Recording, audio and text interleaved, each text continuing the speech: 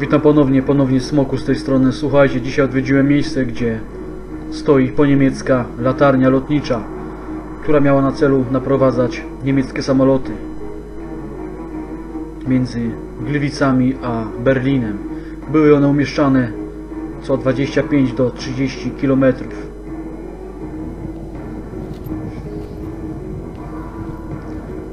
Jestem już prawie na miejscu.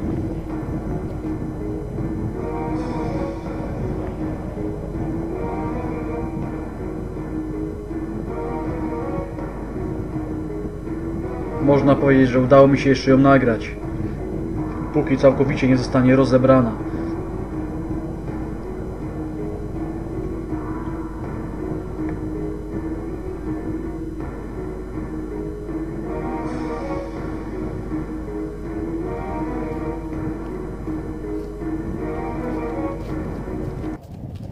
Witam Was po raz kolejny, słuchajcie, prosto z terenu, tak jak obiecałem.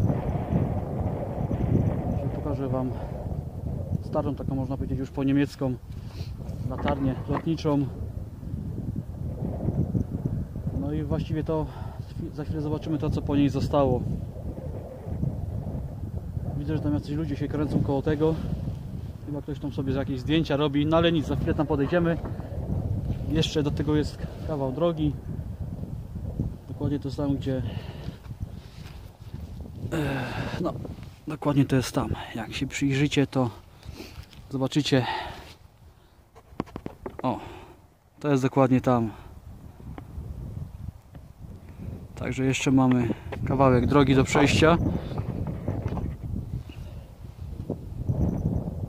No, a mówię, a jeżeli chodzi o tą latarnię, to one były ogólnie umieszczane co 25 do 30 km. Po prostu owe latarnie miały na celu y, jakby no powiedzieć y, no, naprowadzanie, naprowadzanie samolotów prawda, z punktu A do punktu B, czyli tutaj wiadomo chodzi o y, Gliwice, a Berlin. Taka można powiedzieć nawigacja, nawigacja z tamtych czasów no, w ten sposób. Y, owa słuchajcie latarnia nadawała krótkie takie można powiedzieć efekty świetlne jak to się mówi. No i miejsce słuchajcie już jest zapomniane także tutaj już praktycznie no, nikt, nikt nie łazi wszystko tam już gnije z tego co ja słyszałem nie wiem, czy jeszcze jest drabinka. Y, Wiem, że kiedyś jeszcze była taka możliwość wejścia do środka. Yy, Znaczy do środka, na samą górę. Jeszcze jak był, reflektor, nie wiem czy jeszcze jest, ale słyszałem, że ktoś go już zajumał stamtąd, no ale zobaczymy jak to się na, na miejscu okaże za, chwilę. Dobra, lecimy, bo szkoda czasu. Jest dzisiaj dron, także można powiedzieć, że w końcu się przyda i będzie to taki, można powiedzieć, pierwszy obiekt, który zostanie nagrany za pomocą drona. Zimno jak cholera, ale damy radę. Dobra. Widzimy się już na miejscu. Lecimy dalej.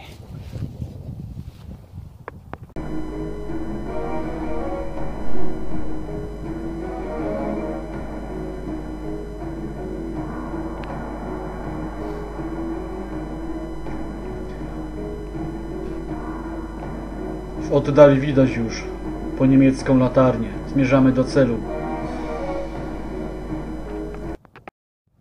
Do przejścia jeszcze jest kawałek.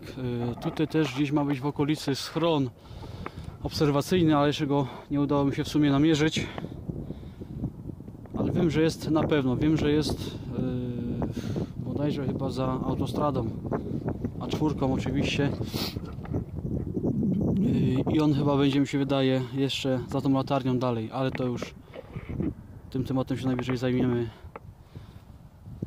mm, w innym na przykład odcinku. Na przykład, natomiast y, historia schronu, no nie słyszałem, żeby tam były jakieś walki. Ogólnie on miał tylko na celu jakby mm, pilnowanie. Gdyby prawda, wo- wojska rosyjskie prawda, parły na, na przykład na Katowice, to wojska niemieckie już by prawda, wojska nieprzyjaciela obserwowały i tak dalej, dawały znać. Ale tutaj na pewno nie ma mowy o jakie, jakiejkolwiek obronie, bo takim jednym schronem, słuchajcie, to długo by, na długo by Rosjan nie zatrzymali. Rosjanie byli już tak, prawda, wprawieni w boju, że taki schron to potrafili rozwalić w kilka wręcz minut. Ciekawi mnie w sumie tamta kępa. Yy, aha, to w sumie dziwnie to wygląda. Teraz tak. Sz- jedna górka. Tam jest druga górka. I mówię, być może tutaj stały stała artyleria, ale nie jestem w słuchajcie wam teraz tego potwierdzić na 1000%, aczkolwiek no dziwnie to wygląda.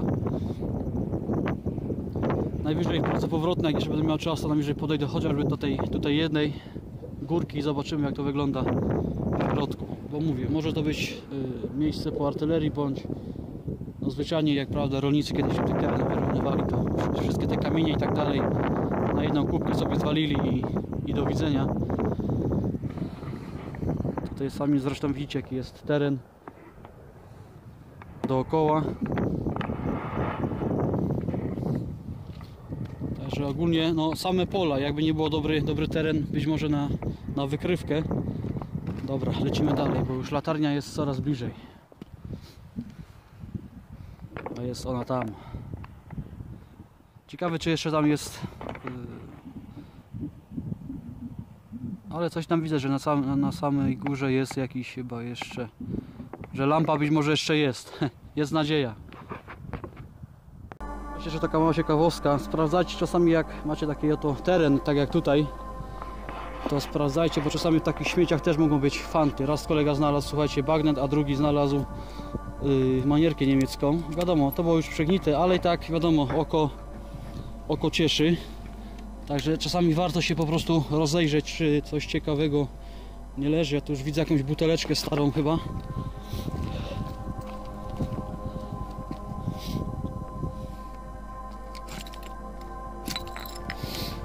Także sami widzicie, że czasami można znaleźć no różne fanty jakby, jakby nie było. Także nawet czasami słuchajcie, warto podnieść każdą blachę, bo się może okazać, że to jest nawet hełm.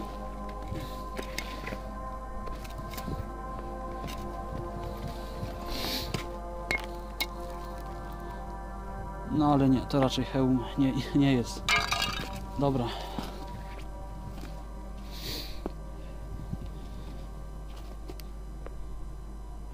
Lecimy, bo szkoda. Szkoda czasu.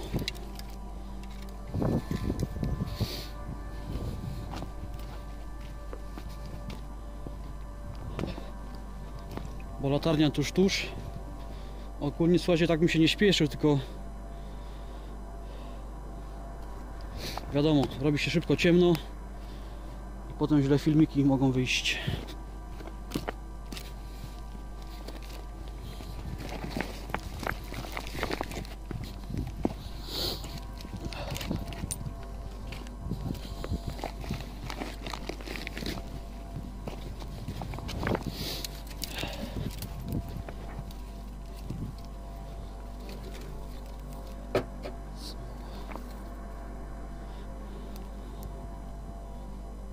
nic idziemy dalej.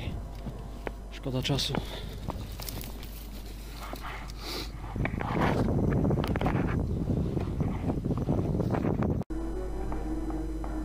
Jeszcze kawałek słuchajcie. Mamy do przejścia. Także lada moment.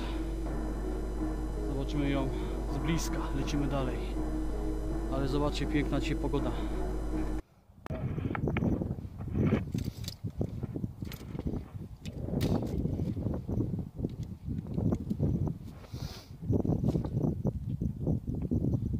Oto ona, słynna po niemiecka latarnia lotnicza. Lecimy w teren.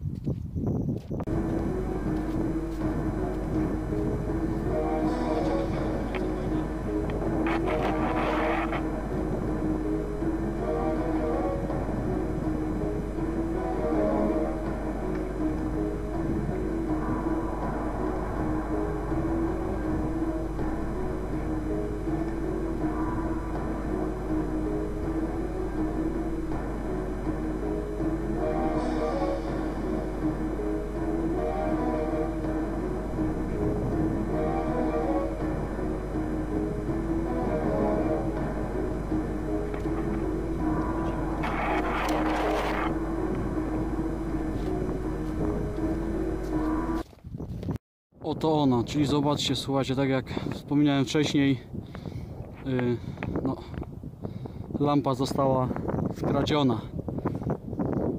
Fajnie to wyglądało na, no, na starych zdjęciach.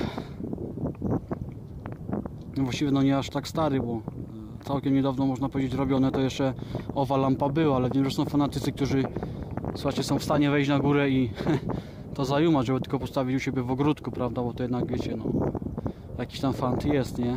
Była drabina, a drabiny też już nie ma, żeby tam już nikt nie wchodził. Nic, odpalam drona. Zobaczymy, widzę, że jest wiatr, także no, raczej sobie tutaj nie polatamy.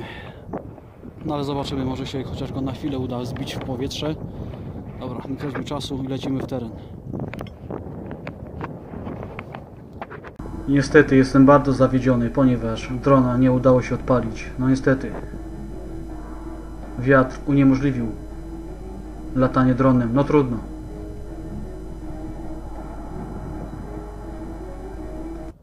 Niestety, słuchajcie, drona bardzo ciężko odpalić. Za mocny wiatr jest. No nic, może najwyżej potem spróbujemy.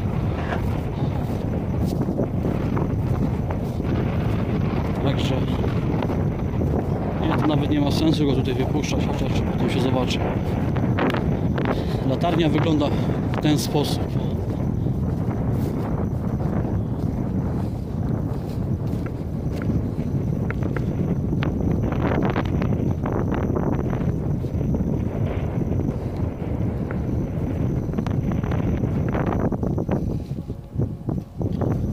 No, taki można powiedzieć już rarytas, bo coraz mniej jest ich.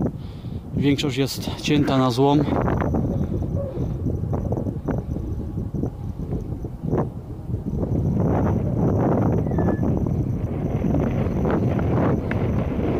No szkoda, że nie.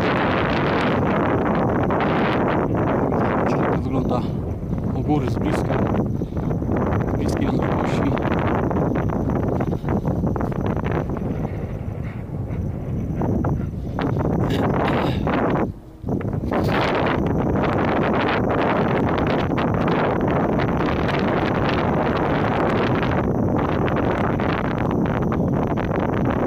No, w normalnych warunkach to by sobie sam tutaj wszedł. Ale na takiej sobie prawo robić sobie.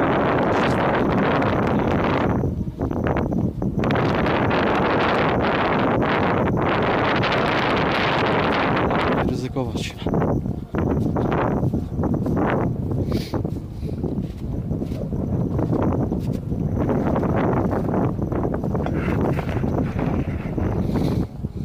Jeszcze nitowane. Ale jeszcze się trzyma.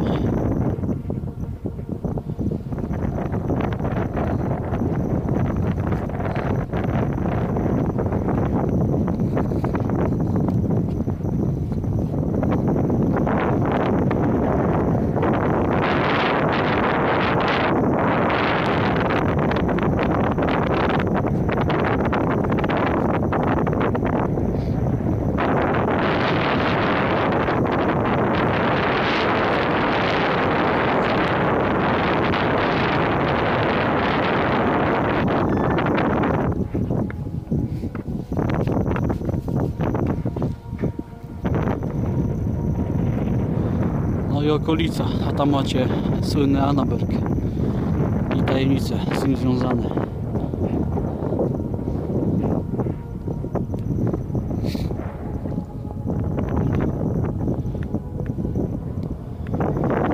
Słuchajcie, słuchajcie, się z tym dronem tu nie mogę teraz poddać, bo chciałbym coś nagrać. Tak jeździć co chwilę. No nic, zobaczymy. Dobra, ja jeszcze raz spróbuję drona odpalić. No co, to będzie za krótki film. To wiatr przeszkadza, no ale nic, zobaczymy. Może coś tutaj się uda polatać tam. Jeszcze drona niestety, no mimo szczerych chęci też mi się to nie podoba. Też chciałbym, żeby, żeby, ten filmik był lepszy, żeby on lepiej wyglądał, ale niestety zobaczyć nie. Po prostu się nie da, nie da się i koniec nie chcę, żeby się znalazł w innej miejscowości. No trudno. Najwyżej słuchajcie, przyjdziemy na, na wiosnę, będzie lepsza pogoda.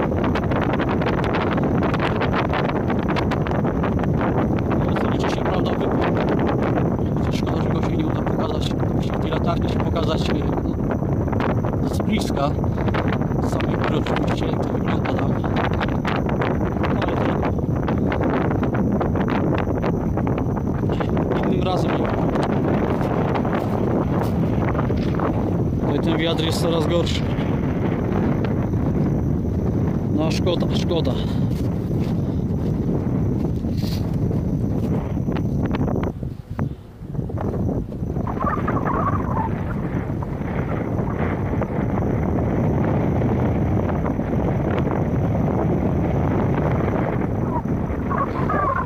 Jeszcze się będziemy zajmować tematem Mianowicie chodzi o miejsce, gdzie podczas wojny 30-letniej ukrywał się ksiądz wraz ze swoimi mieszkańcami. No i tam można powiedzieć, że no, słuchajcie, dochodziło naprawdę do takich scen, że masakra ogólnie słowem. Słuchajcie, głód niesamowity, zima i tak dalej.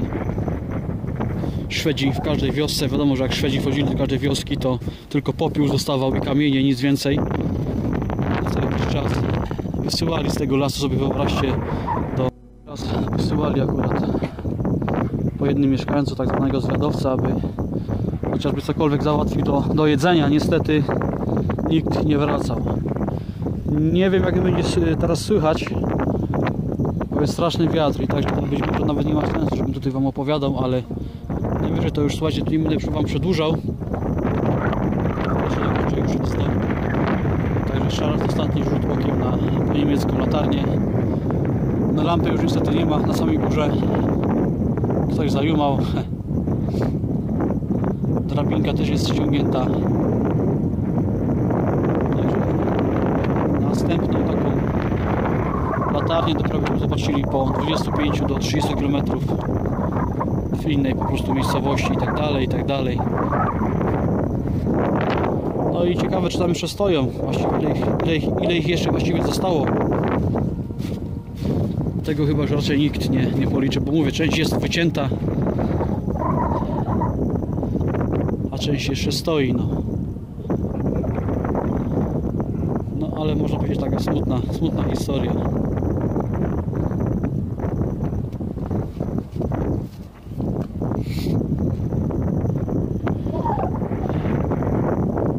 Kiedyś też właśnie, słuchajcie, jechałem z znajomym miejscowości, gdzie miał, gdzie miał być schron, był ten schron oczywiście w lesie, tylko nie było kopuły. Kopuła też była. Wcześniej oczywiście, kilka lat wcześniej, natomiast jak już, już my, słuchajcie, żeśmy sobie, czekajcie chwilę, bo jest tak zimno, że aż usta zamarzają. W sumie jak już wracaliśmy z powrotem, to akurat jedziemy koło takich starych domów i patrzymy, o, to jest ta kopuła. Akurat się okazało, że gościu, który tam mieszka, tą kopułę po prostu sobie zabrał do siebie na podwórko i to ma jako ozdobę, tak na podwórku można powiedzieć, zostawioną, no i tyle. Także też podejrzewam, że ta owa pamiętaj też gdzieś kogoś służy jako ozdoba. Dobra, nic, ja już wracam. Po drodze jeszcze sprawdzę, co było tu na dole. Nowy trójkąt tak usypany. Jeżeli nawet nic nie będzie ciekawego, to nawet tego słuchajcie, nie ma sensu tutaj pokazywać. Wiatr i tak daje się teraz we znaki, także to nawet nie sensu dzisiaj nagrywać, no ale liczy się wyprawa. W sumie no, można powiedzieć, że nie jestem, nie jestem zadowolony. Naprawdę nie jestem zadowolony z tego względu, że ile będzie miał film? Może 10 minut. Także lipa totalna dzisiaj. Ale wyjeżdżałem, to akurat wiatru nie było. Teraz się akurat zerwał, no i lipa. Nawet kamerę. Tak daje. No nic, zostawimy to najwyżej na wiosnę i tyle. Lecimy teraz z powrotem. Trzymajcie się.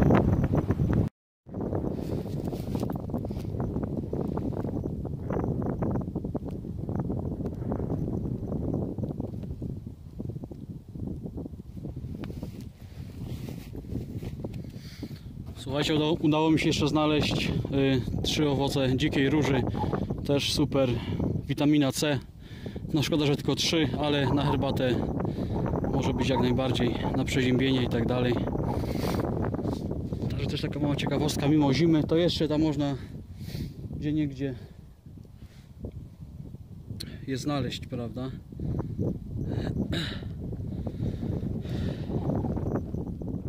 Mimo iż filmiku takiego, jakiego ja bym chciał nagrać, nie udało się zrobić, no trudno.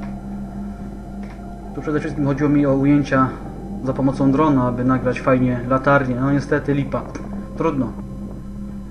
No nic, nie pozostaje mi nic innego jak rozpalenie ogniska i chociaż wam poopowiadać jakieś historie, prawda, bo bez ogniska niestety film by trwał może kilka minut, a tak sobie coś, prawda, tutaj poopowiadamy przy ognisku, no i też będzie tak zwany klimat.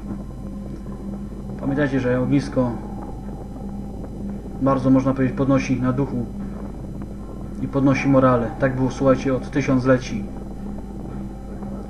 Także zapras- zapraszam Was na kolejne opowieści przy ognisku, ponieważ dawno ich już nie było. Nie wiem tylko, jak, czy mnie będzie w ogóle słychać, czy nie, ale to zobaczymy za chwilę, ponieważ wiatr się wzmaga. Także witam i zapraszam na kolejne opowieści przy ognisku.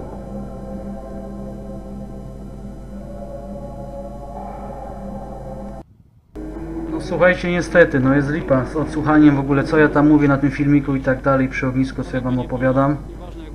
Jest ogólnie, no, można powiedzieć straszna, straszna lipa. Najwyżej zrobię to na dwa odcinki, jak to będzie chciał się wsłuchiwać yy, w moje słowa, które gdzieś ja tam, gdzieś tam, prawda, wypowiadam i tak dalej, to może cokolwiek yy, uda wam się już słyszeć. Ja tutaj, słuchajcie, nie robię z tego długiego odcinka, bo to nie ma sensu. Najwyżej podzielę to na dwa odcinki. Wiadomo, że za długi odcinek to też jest bez sensu. Nie każdy ogląda po 40 minut, prawda, materiału. Ale kto będzie chciał, to zobaczy sobie może już drugi odcinek z opowiadań przy ognisku, przy... No przy tym materiale właściwie, także dobra, chociaż będę kończył. Widzimy się w drugim odcinku, mimo że raczej nie będzie nic słychać, bo ciężko tam cokolwiek, słuchajcie, wy, wyłapać. No ale nic, także to wszystko na dzisiaj i do zobaczenia.